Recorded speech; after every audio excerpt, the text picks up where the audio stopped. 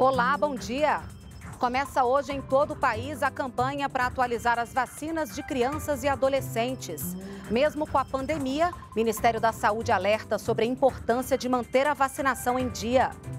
Governo prorroga a redução de impostos sobre remédios e produtos utilizados no combate à Covid-19. A partir de hoje, clientes já podem fazer o cadastro no Pix, o novo sistema de pagamentos instantâneos do Banco Central. E veja também, com o programa Floresta Mais Carbono, empresas podem compensar emissões de carbono e gerar renda para quem preserva a vegetação nativa. Hoje é segunda-feira, 5 de outubro de 2020. O Brasil em Dia já está no ar.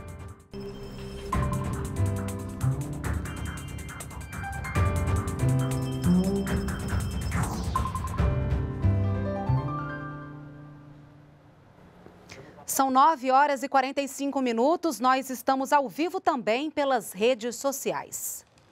Começa hoje em todo o país a campanha de vacinação de crianças e adolescentes. O Ministério da Saúde alerta que, mesmo neste momento de pandemia, é importante manter as vacinas em dia.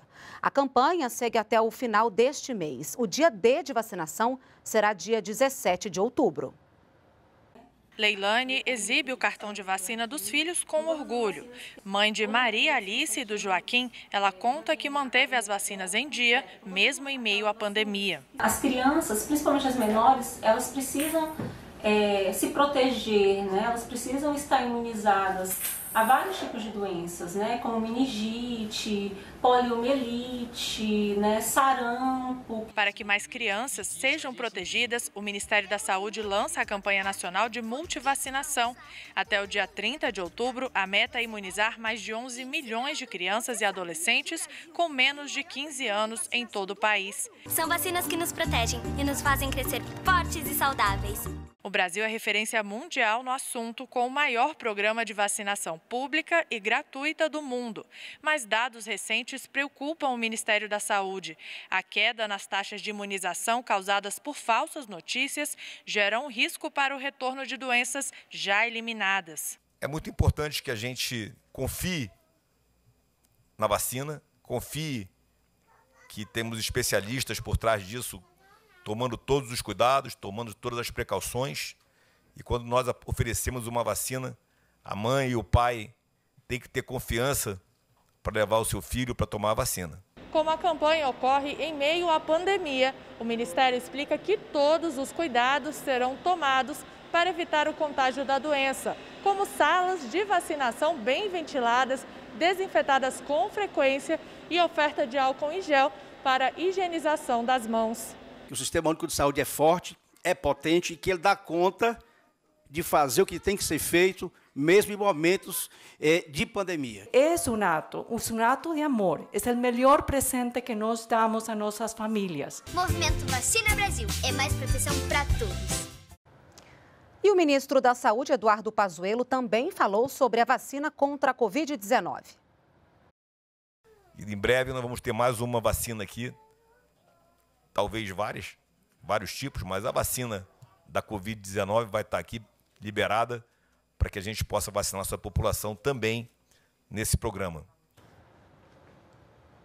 E a Anvisa já recebeu para análise as primeiras informações sobre duas vacinas contra a Covid-19. Uma desenvolvida pela Sinovac da China, em parceria com o Instituto Butantan, e a outra do laboratório AstraZeneca da Inglaterra. Esse processo ajuda a acelerar o registro da vacina assim que comprovada a eficácia.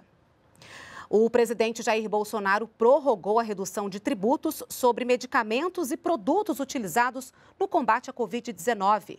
O decreto mantém a redução do IPI, o Imposto sobre Produtos Industrializados, do PIS-PASEP e da COFINS. Entre os produtos beneficiados estão máscara de uso hospitalar, álcool em gel, óculos e viseiras de segurança e também aparelhos de terapia respiratória.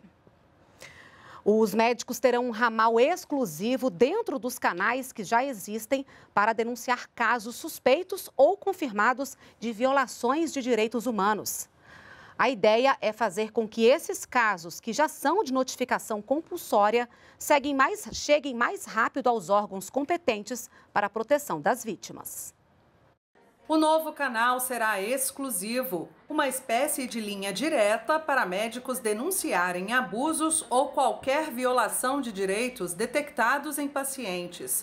O número 101 é fruto de uma parceria entre o Conselho Federal de Medicina e o Ministério da Mulher, da Família e dos Direitos Humanos e vai utilizar a estrutura já existente dos canais de denúncia Disque 100 e Ligue 180. Quando o profissional da área médica ligar para efetuar uma denúncia nos canais de atendimento Disque 100 ou Ligue 180, a ligação será direcionada para o atendimento específico dessa categoria profissional. A ideia, segundo a ministra Damares Alves, é facilitar o encaminhamento de denúncias anônimas dos profissionais de saúde. O número 101 tem a intenção de aumentar o índice de acolhimento e proteção das crianças e adolescentes vítimas de todo e qualquer tipo de violência. Para esta médica, o novo canal pode evitar novos abusos e agilizar a proteção às vítimas. As notificações mais ágeis trarão para essas vítimas mais segurança, para que elas consigam ter as medidas protetivas sendo tomadas de maneira mais rápida e mais ágil. E os médicos que têm diplomas de instituições estrangeiras e querem atuar aqui no Brasil têm até hoje para se inscrever no Revalida. As inscrições são pela internet e as provas da primeira etapa serão no dia 6 de dezembro. Uma novidade desta edição é que, se o médico formado no exterior reprovar na segunda etapa, poderá se reinscrever diretamente nesta fase. Anteriormente, era necessário realizar todo o processo desde o início. Para mais informações, é só acessar o endereço revalida.inep.gov.br. Começa hoje o cadastramento das chaves digitais do Pix, a nova ferramenta de pagamentos instantâneos do Banco Central. A chave é a forma como a conta do usuário será identificada no sistema. Pode ser telefone celular, CPF, CNPJ ou e-mail. O serviço vai funcionar nas 24 horas do dia e deve reduzir para 10 segundos o tempo de liquidação do pagamento entre o banco e o estabelecimento. Algumas contas, como a de luz, poderão ser pagas diretamente na ferramenta. O Pix vai entrar em operação em 16 de novembro. Assim, ao fazer uma transferência, por exemplo, a pessoa não terá que digitar todos os dados do destinatário, como agência, conta e CPF. Para cadastrar a chave, basta acessar o aplicativo do banco em que tem conta e fazer o registro. Carlos Brant, do Banco Central, explica o que é o Pix. Vai permitir pagamentos imediatos, pagamentos que tenham aí é, uma dinâmica de iniciação, de recebimento muito facilitada, com uma redução de custos aí para para os, os, envolvidos aí nessa transação de pagamento, inclusive com gratuidade para quem é, é pagador pessoa física, né? A Caixa Econômica Federal paga hoje o auxílio emergencial a mais de 3 milhões de trabalhadores nascidos em fevereiro. Entre os beneficiários, 2 milhões e 100 mil vão receber a primeira parcela extra de 300 reais do auxílio extensão. O dinheiro será depositado na conta poupança digital e só poderá ser sacado em espécie a partir do dia 7 de novembro. Outubro é o mês nacional da ciência, tecnologia e inovações. A data vai passar a ser comemorada todos os anos. Estão previstas atividades ao longo dos próximos dias para ajudar a popularizar o tema.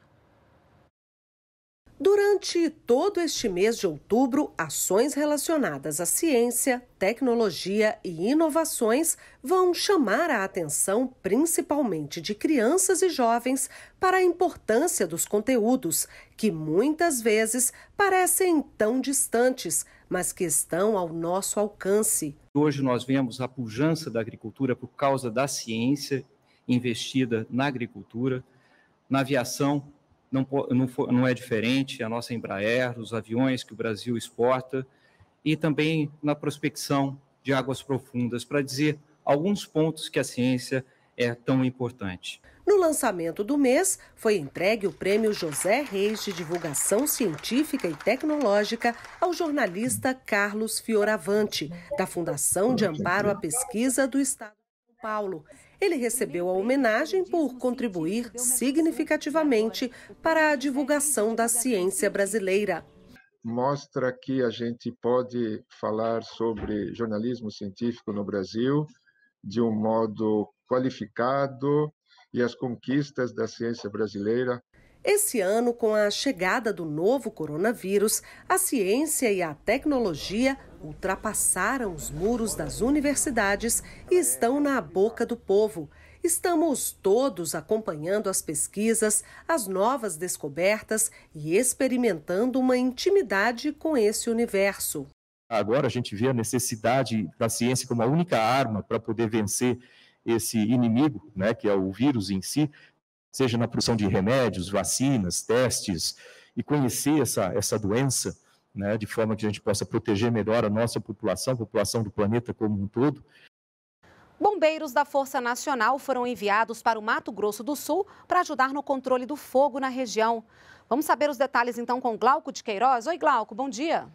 Olá, Renata. Bom dia para você, bom dia a todos. Olha, 40 bombeiros da Força Nacional de Segurança chegam hoje à tarde à região. E a portaria autorizando o envio é, desses militares foi publicada na, na edição do Diário Oficial desta segunda-feira. O envio atende a um pedido do governador do estado do Mato Grosso do Sul, Reinaldo Azambuja, feito ao Ministério eh, da Justiça e Segurança Pública. Além do envio das tropas, também estão sendo enviadas aí 12 viaturas e equipamentos especializados para o combate ao fogo. Eles devem permanecer na região pelo prazo de 30 dias, mas eh, esse período poderá ser prorrogado. E além desse reforço, eh, esse reforço se soma ao já enviado no dia 23 de setembro e na oportunidade também foram destacados 40 bombeiros para combater o fogo no estado do Mato Grosso. Eles também têm apoiado outras ações, assim, ações humanitárias e de assistência, aliás, ações de assistência humanitária à população ribeirinha e também aí resgate de animais silvestres. Renata. Obrigada, Glauco, pelas suas informações. Você sabe como funciona o mercado de carbono? Quando uma empresa não consegue reduzir as emissões de gases de efeito estufa, ela pode comprar créditos. O dinheiro que a empresa paga é usado para financiar a preservação. E o governo brasileiro quer incentivar essa forma de compensação ambiental. Reduzir as emissões de gás carbônico é o compromisso assumido por países de todo o mundo para barrar o aquecimento global. No Brasil, país com mais de 300 milhões de hectares de florestas públicas, o Ministério do Meio Ambiente acaba de lançar o programa Floresta Mais Carbono. A ideia é incentivar as empresas que não têm como reduzir emissões de CO2 a gerarem créditos de carbono, uma forma de compensação ambiental. Um crédito de carbono representa uma tonelada de gás carbônico que deixou de ser emitida na atmosfera. Quando uma empresa ou órgão público não consegue reduzir as emissões, pode comprar créditos de carbono no mercado. O dinheiro que a empresa paga pelo crédito é usado para financiar iniciativas de preservação da floresta. Tem mais de 30 projetos aprovados que já reduziram mais de 7 milhões de toneladas de CO2 no mercado. É, trabalhamos tanto com empresas privadas, como recentemente estamos trabalhando também com algumas prefeituras, apoiando no desenvolvimento dos inventários de emissões de gás de estufa das cidades é, e no desenvolvimento do plano de ação climático. Com Floresta Mais Carbono, o governo pretende dar mais segurança jurídica para essas transações. O programa também pretende favorecer a geração de renda para as pessoas que vivem, por exemplo, na floresta amazônica, possibilitando o incentivo financeiro para quem mantém a floresta em pé. Criar uma alternativa de renda real para quem cuida de floresta, para quem protege as florestas nativas em todo, todos os biomas brasileiros. A gente fica por aqui. Um bom dia para você e até amanhã. Tchau, tchau.